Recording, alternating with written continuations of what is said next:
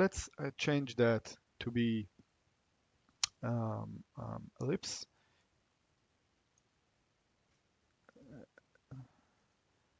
Ellipse. Yep ellipse. Okay.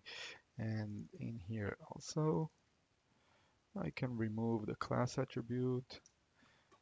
And um, okay what I'm what I'm missing I'm missing um, um, as you recall and let me show you that again.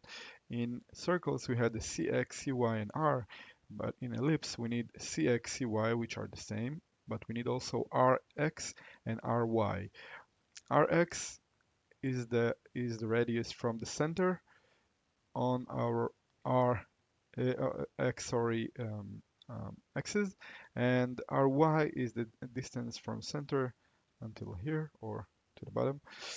So let's do it in here also. I'll call that rx and let's add sorry let's add a ttr for ry and give it a fixed uh, radius of uh, 20 and close that. Let's save and try sorry and try it. Refresh.